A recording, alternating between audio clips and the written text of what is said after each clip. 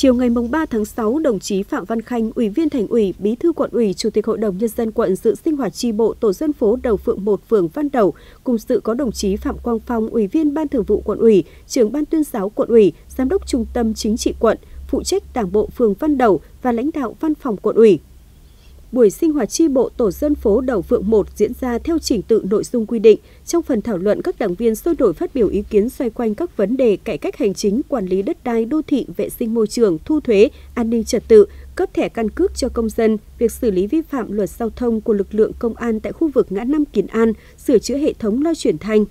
Phát biểu tại buổi sinh hoạt tri bộ tổ dân phố Đầu Phượng 1, đồng chí Bí thư quận ủy, Chủ tịch Hội đồng nhân dân quận Phạm Văn Khanh ghi nhận sự chuẩn bị của cấp ủy cho buổi sinh hoạt tri bộ, đồng chí Bí thư quận ủy, Chủ tịch Hội đồng nhân dân quận cũng đã giải đáp một số vấn đề mà đảng viên trao đổi đề xuất, đồng thời sẽ làm việc với một số cơ quan liên quan đến vấn đề mà đảng viên phản ánh để chỉ đạo giải quyết.